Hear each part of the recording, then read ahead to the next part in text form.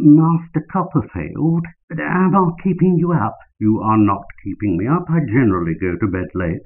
Thank you, Master Copperfield. I've risen from my humble station since first you used to address me, it's true, but I am humble still. I hope I shall never be otherwise than humble. You will not think the worse of my humbleness if I make a little confidence to you, Master Copperfield, will you? No. Thank you. Miss Agnes, Master Copperfield. Well, Uriah? Oh, how pleasant to be called Uriah spontaneously. You thought her looking very beautiful tonight, Master Copperfield? I thought her looking as she always does, superior in all aspects to everyone around her. Oh, thank you. It's so true.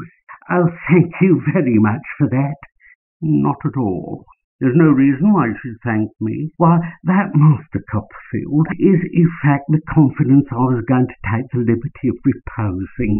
Humble as I am, humble as my mother is, and lowly as our poor but honest roof has ever been, the image of Miss Agnes, I don't mind trusting you with my secret, Master Copperfield, has been in my breast for years.